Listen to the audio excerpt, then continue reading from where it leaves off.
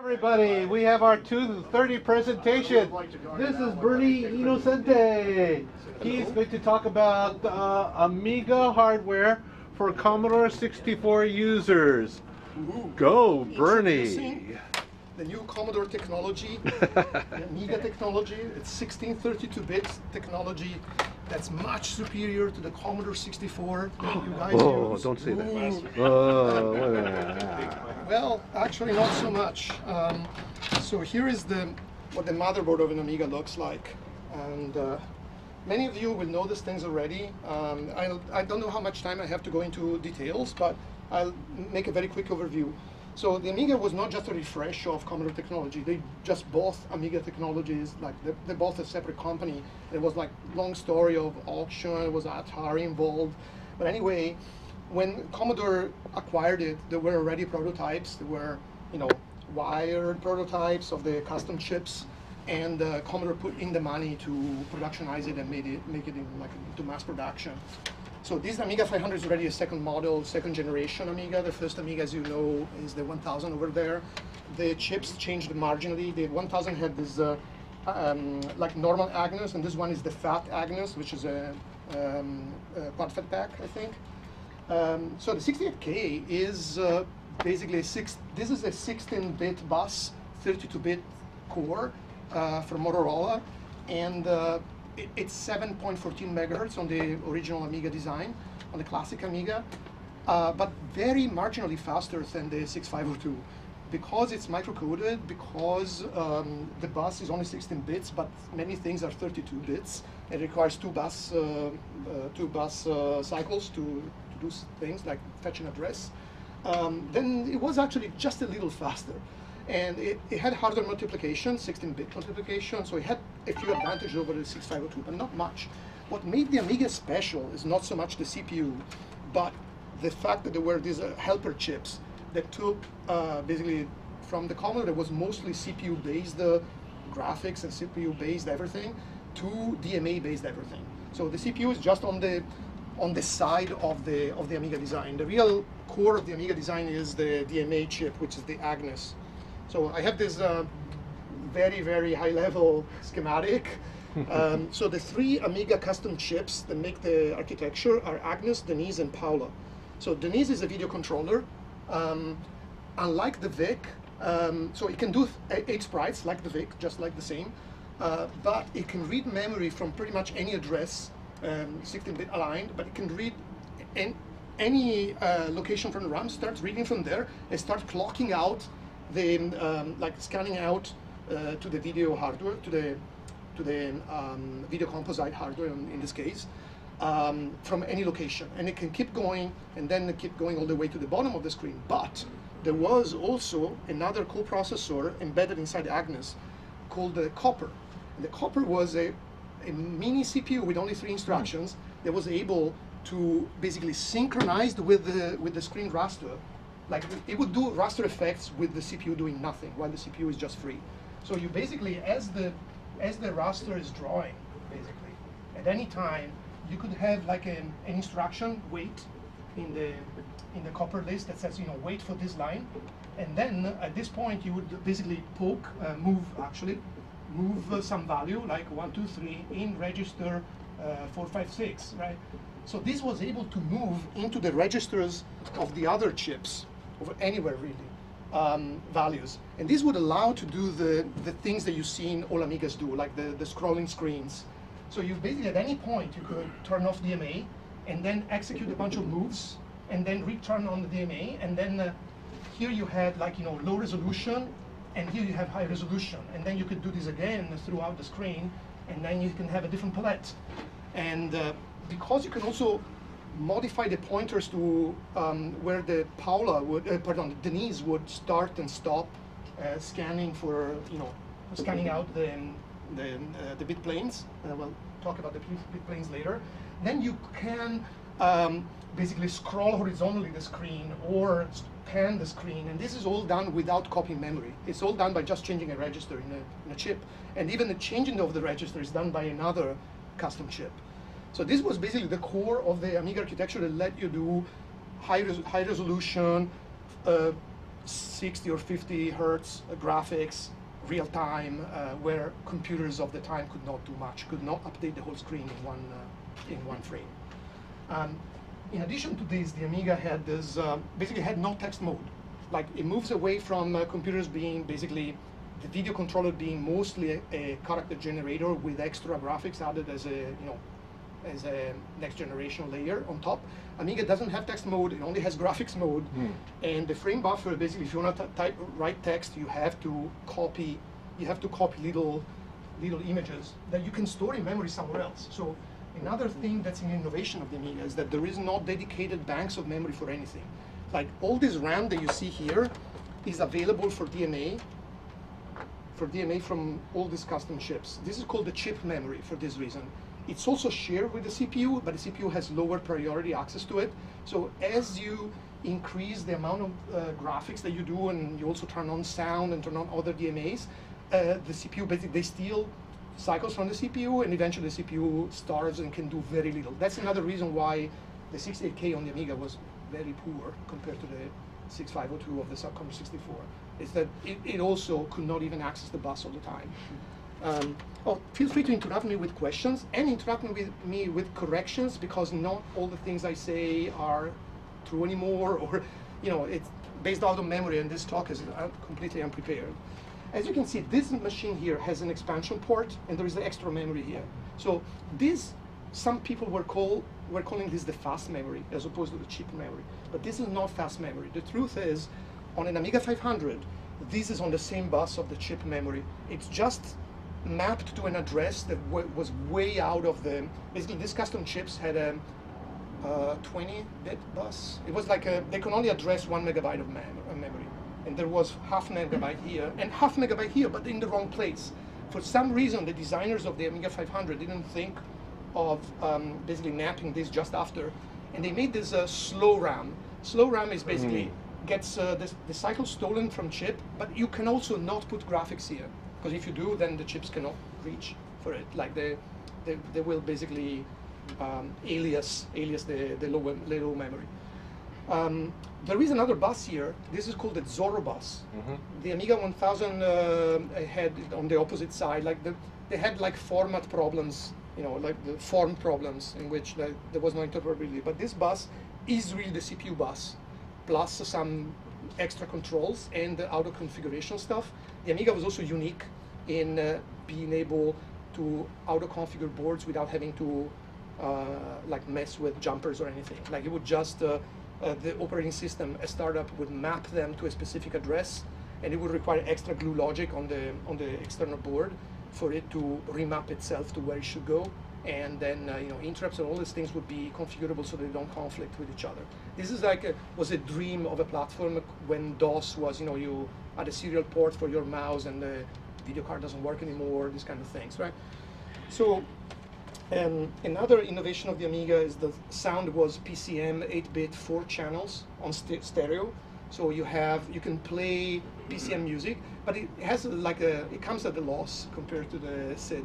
It doesn't really have any way to synthesize. Like it doesn't have a synthesizer, and so you can only do PCM. And uh, if you want to do anything more, then you need the CPU to more, like you, you can change the volume, you can change the the frequency or the play the replay frequency, but you have to do this in software, and it takes a lot of extra CPU time to do that. So it was more limited for synth music, but it was great for you know you could do speech, you could do all the things that Commodore 64 was not very good at.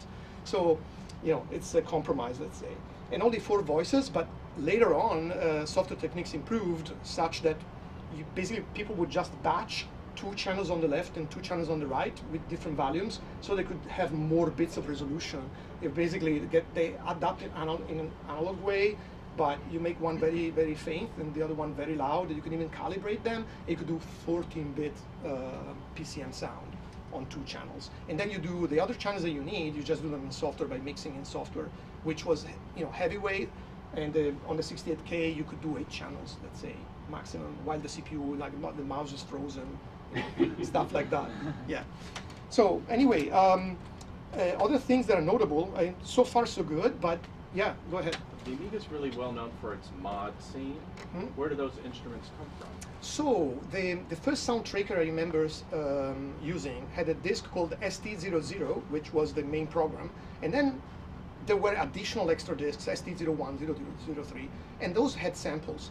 So back in that era, samplers were expensive, rare. Samplers for the Amiga, I think they started appearing years later.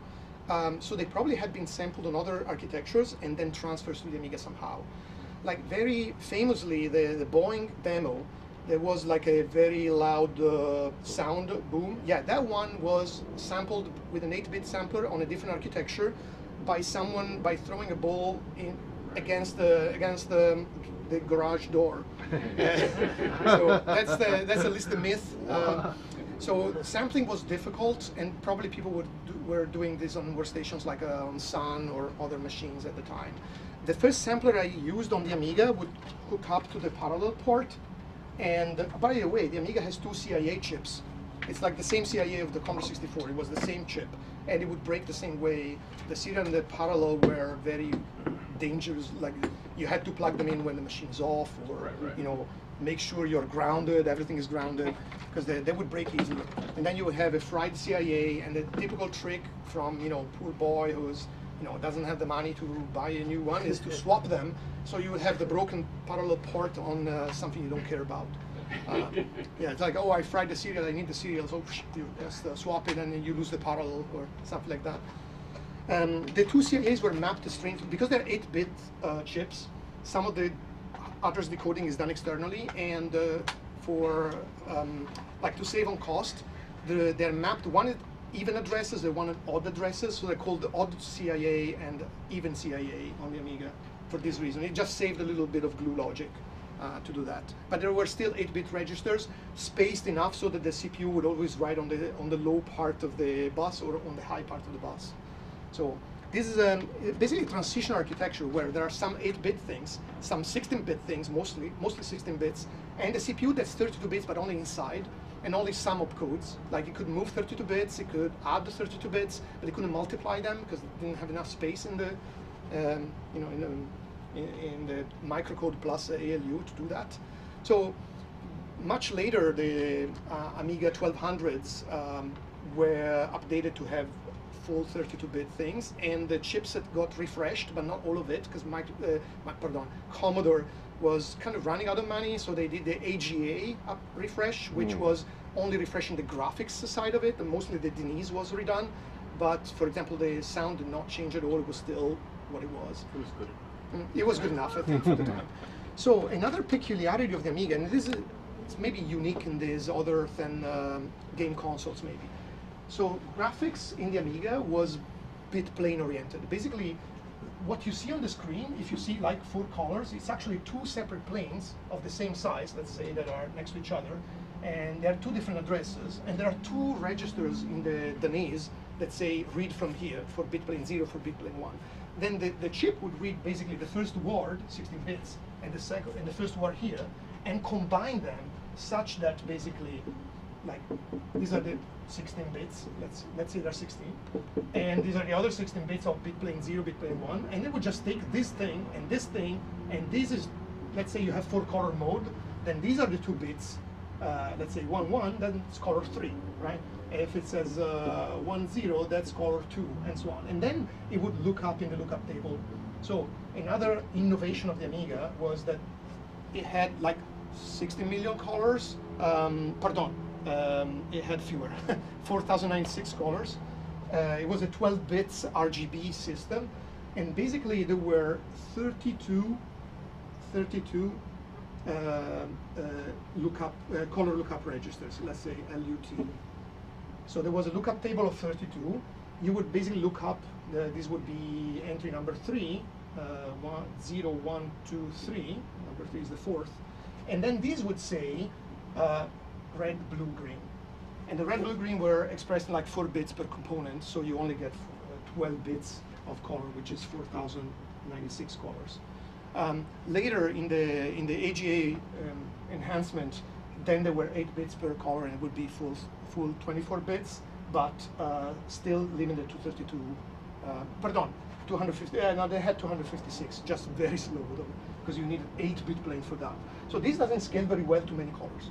It, it, scales well up to four or five, then it starts to become very slow to update because every time you want to draw graphics, you want to draw a line.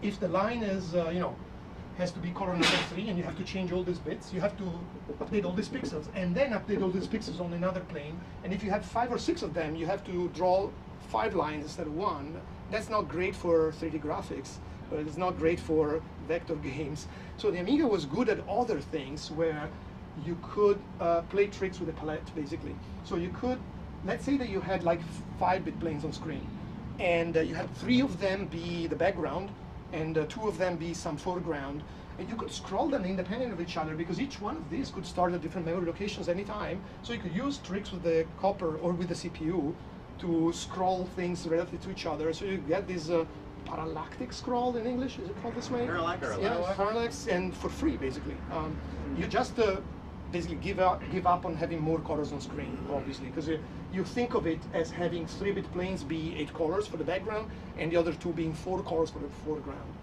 So uh, for the uh, 64 color extra half bright mode, Yep. were they using a six-bit plane? Uh, yes, they had six-bit planes, but only 32 registers, and the trick was that in hardware, there was a shadow set of 32 registers that were shifted right by one, so they were just half the brightness. That's why it's called half bright. So you were limited in, basically you couldn't define 32 more colors, you, reuse the same ones with half the brightness. Turned out this was very useful because for shading, right? You, you basically use a 6-bit plane, uh, very very common um, like Amiga shoot 'em ups or or or um, platform games would have, for example, water, and the water happens to make uh, everything darker. You would just do that by having, or any other effect. You basically have an effect where some feature on the screen darkens everything else, like a shadow, like character shadows. You could use this 6-bit plane for that. Few games use the half bright mode just because once once you enable 6-bit planes, you don't have a lot of cycles left for animation and so on. Uh, so I, I guess I'm done.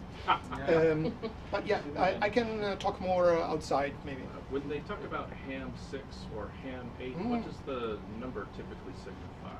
Okay, so th- this is interesting, but it takes a while. Do I have time to answer, or should I take it up? Okay, so ham was an interesting idea that got uh, canceled and then remained in the in the silicon, luckily, just because it would take too long to remove uh, properly.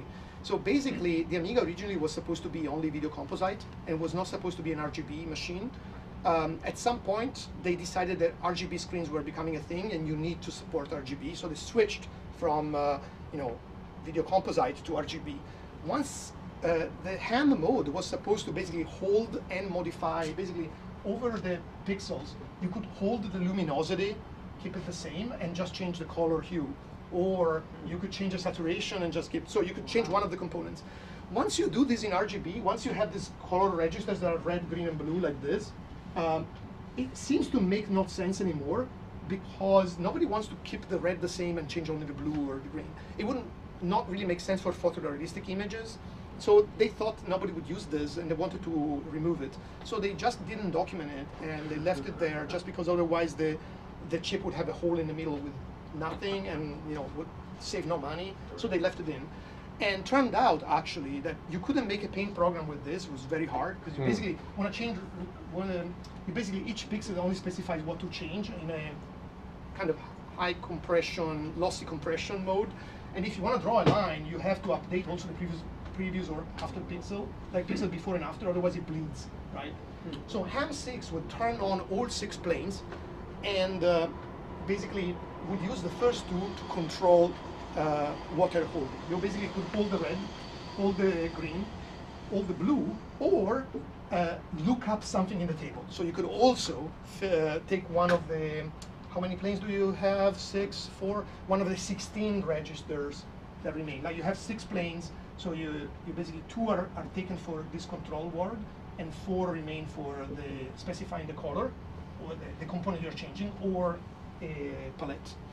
So with this, with this you could draw images that are reasonable, but you need good software to encode from uh, true color to this, and it would be slow to update it on the fly. But over time, techniques were developed. There, were, there was a paint program called Brilliance that was able to, in real time, move things on the screen, and the bleeding would be corrected kind of lazily, like uh, it would just uh, bleed and then uh, stop bleeding after a while. You just uh, fix it up. Uh, it was very, very clever. Ham 8 uh, was not possible on the Amiga Classic. You would need 8-bit planes for that, which you could only do with the AGA, and um, and it enabled uh, you know these extra two bits that gives you a much larger palette and also six bits of resolution for each component. And then there was Sham. Uh, Sham uh, is an even more clever idea. It's uh, basically it's an or DHAM, uh, dynamic ham. So the idea is that you use ham, but plus you use the copper. The copper you don't you're not limited to use it to just change between a screen and another. You can change colors anytime. So you can change colors in the palette. You can change a background color. You can change uh, pretty much anything at any time in at per line or even in the middle of the screen if you want. So initial sham encoders would just update some of the colors in the palette so that they would give you better matches for what you're doing. So if the top is, uh, let's say, blue sky, and then uh, you have green stuff and so on, then you bas- basically modify the palette through through the image to give even better, even better Well, rendering. why do you think more software back in the day didn't utilize such a powerful, impressive video mode? Hmm, So it was hard to encode things into this format, and uh, mostly it was limited by you know software not being ready yet. It was hard to develop. Once it was developed, it was limited by being too static. Like basically, on top of an image like this with all these tricks, you can only do sprites, and the Amiga sprites were more limited than the Commodore 64. The Commodore 64 sprites could be expanded vertically, horizontally. They were wider. They were 24 bits, if I remember correctly. The Amiga ones are worse. They're only 16 bits, and uh, you only have eight of them. Uh, of course, you can recycle them with the copper too, so you can do all the same tricks you do on the Commodore 64, but it's free. Like it doesn't take any CPU cycles, any interrupts. Um, but basically, it was limited for games. You couldn't use it much for games or for the UI because it's too slow to update. For yeah. none of the the only acceleration primitives that were supported in hardware on Amiga were line drawing, some filling that's pretty bad actually. Uh, it works, uh, you know, in, with, with limitations, let's say, and uh, what else? And copying blocks of memory. You could uh, mem copy basically uh, rectangular regions on the on the things. But all of those um, were pretty slow. Like the Amiga 500 didn't have enough bandwidth with a lot of bit planes on to to move large blocks of memory, in, you know, at 60 hertz. You, you would you would see things, uh, and there were a lot of games on the Amiga that were excessive, had excessive graphics, and they were, for this reason, not very uh, smooth. So I guess I'm done, unless there are more. questions for Bernie? Okay, thank you, Bernie.